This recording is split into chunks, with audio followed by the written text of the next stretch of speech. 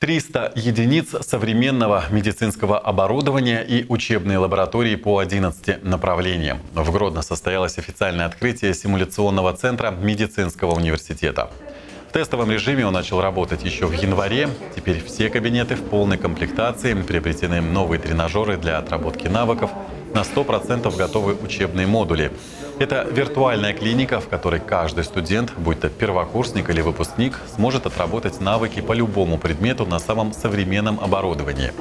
К примеру, лаборатория хирургии. При помощи новейшего аппарата будущие медики могут в режиме реального времени попробовать разные подходы к проведению операций – Ошибки при этом будет выдавать сама компьютерная программа.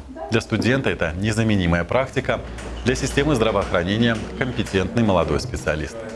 Центр загружен, центр работает с 8 утра до 8 вечера, э, полная загруженность центра. Студенты обучаются, начиная с первого курса, э, практическим навыкам оказания первой помощи, на шестом за курсе заканчивая клиническими, э, клиническими навыками с использованием высокотехнологичных тренажеров и роботов-симуляторов. В центре существует отдельная профессорско-преподавательская база, это 10 ставок преподавателя, а также с каждой кафедрой, за каждой кафедрой закреплены преподаватели, которые обучаются на тренажерах и потом обучает студентов.